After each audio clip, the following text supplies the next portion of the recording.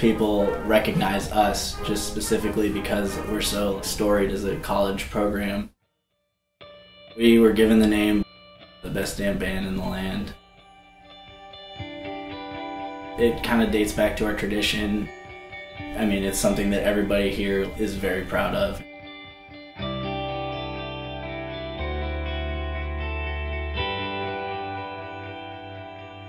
It's about eight hours before kickoff.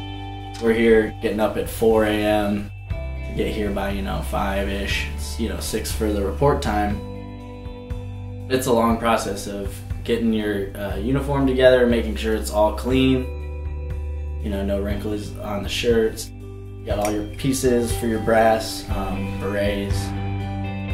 One of the pregame traditions, about an hour before report time, we go out on the oval we have a little minute of reflection and then we line up at the statue in front of Thompson, sing all three verses of Carmen, Ohio, and hit all the T's on the statue, uh, and then head our way to the stadium.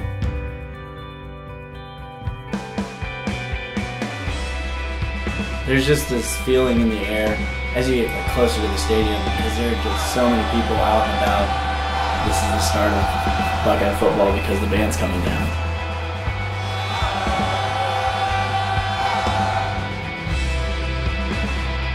Just come down that ramp and, and that whistle blows before the drum major comes out. Everybody's screaming. It's just like one of the most chilling moments ever.